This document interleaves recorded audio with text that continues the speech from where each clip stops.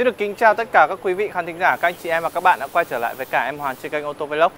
Và vâng, hôm nay à, em Hoàng xin được giới thiệu các anh chị em một siêu phẩm của dòng Fortuner anh chị em nhé. Đây là bản Sportivo, bản có bộ body kit chuẩn của TRD, chính hãng Toyota Racing Development anh chị em nhé.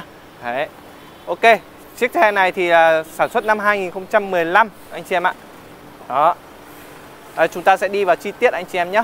Xe thì cũng đã lên được rất là nhiều đồ và trang bị khá khá đồ chơi anh chị em ạ. Đây, nhìn từ phần đèn cũng như phần ca lăng này anh chị em nhé. Phần đèn đây, anh chị em này. Đó. Rất là nhiều bi đúng không ạ? Và bi này không phải bi thường anh chị em nhé. Đây là bi laser anh chị em ạ. Đó. Đây rồi rửa đèn này, rồi bi gầm này anh chị em nhé. Rồi thêm nữa đó là cái bộ body kit của TRD thì cũng có, có đèn rồi anh chị em ạ. Đấy. Rồi đây là phần uh, thân xe anh chị em nhá. Phần thân xe đây. Đó. Đây cái la răng đặc trưng của dòng TRD Phiên bản thể thao Anh chị em nhá.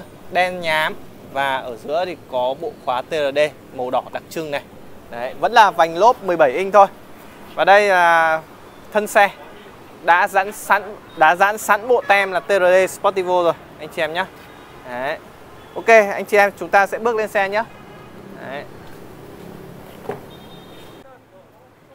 Dạ vâng à. Xin mời anh chị em nhé à, Đây là phần nội thất bên trong xe Tông màu chủ đạo sẽ là tông màu đen Chỉ sáng anh chị em ạ Đó Và ghế lái thì là ghế lái chỉnh điện anh chị em nhé Đấy. Đấy. Đấy, chủ sở hữu cũ cũng đã trang bị uh, bộ trải thảm 6D Rồi mời anh chị em chúng ta sẽ vào khu vực bên trong xe Đấy. Đây là có bật sẵn là hệ thống ờ, giải trí màn hình khoảng 6 inch anh chị em nhé. Rồi ờ, hệ thống điều hòa auto tự động đây. Đấy.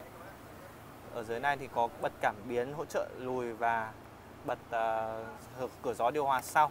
Thêm hai cầu sạc điện. Đấy. Và đặc biệt đây chúng ta sẽ có cần gài cầu anh chị em nhé. Đấy, cần gài cầu. Hệ thống hộp số tự động, phanh tay cơ. Sang bên đây nữa thì chúng ta có cái vô lăng ốp da. Đấy, anh chị em nhìn thấy là đời 2015 thì chúng ta chưa có nhiều công nghệ đâu anh chị em ạ. Đấy, chỉ là tăng giảm âm lượng rồi đánh uh, bật chế độ đèn rồi gạt mưa thôi. Đấy, bên này nữa thì chúng ta sẽ có thêm là khóa vi sai cầu sau này điều chỉnh gương này rửa đèn này và bật cốp nhé cái bật cốp này là do anh chủ cũ đã độ thêm anh chị em nhé đó anh chị em ạ rồi, chúng ta sẽ đi về hàng ghế sau nhé.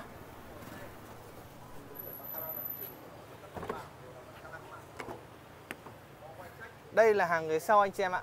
Đó, rất là rộng rãi thoải mái và cũng như các bao đời Fortuner khác thì cửa gió điều hòa nằm trên trần. Ở giữa là điều khiển lượng gió anh chị em ạ. Đấy. Ở giữa thì chúng ta có cái bệ tì tay. Thế thôi. Đơn giản vậy thôi. Người Nhật bao giờ cũng thực dụng lắm, anh chị em ạ. Đấy. rồi, cái điều đặc biệt mà em Hoàng muốn nói ở đây đó chính là cái cốp sau này. Anh chị em ạ, cốp sau thì có trang bị cam lùi nhá. Và cốp điện, anh chị em ạ. Đó, rất là đặc biệt. Đấy, cái này thì phải độ thêm, anh chị em nhé đấy. rất là thích hợp cho anh chị em nào mà tay phải sách nách mang nhiều thứ đây. Đấy. còn hàng ghế thứ ba thì vẫn như truyền thống thôi vẫn phải gập lên bằng cơ, anh chị em nhé. Đấy, để có thể có chỗ để đồ ở đây. Đấy. không cần thì chúng ta lại bấm một phát để cho cốc xuống. Vâng thì chiếc xe này thì bên em vừa mới cấp bến và đang chào với mức giá là hơn 600 triệu đồng chút, anh chị em ạ. Hơn 600 triệu đồng, anh chị em nhé. Và để có được mức giá tốt nhất thì anh chị em hãy gọi điện cho em Hoàng Số điện thoại hotline bao giờ cũng mở 24 trên 24 098 332 2508 anh chị em nhé và muốn trải nghiệm chiếc Sportivo 2015 này, hãy đến với cả showroom Vương quốc Gầm Cao, địa chỉ 26 đường Cầu Diễn tại Thủ Đô, Hà Nội anh chị em ạ. Và lời cuối cùng, em Hoàng xin kính chúc anh chị em có một ngày mới tràn ngập sức khỏe, tràn ngập niềm vui và gặp nhiều điều may mắn nhé. Em Hoàng xin kính chào và hẹn gặp lại các anh chị em trong các chương trình giới thiệu xe tiếp theo.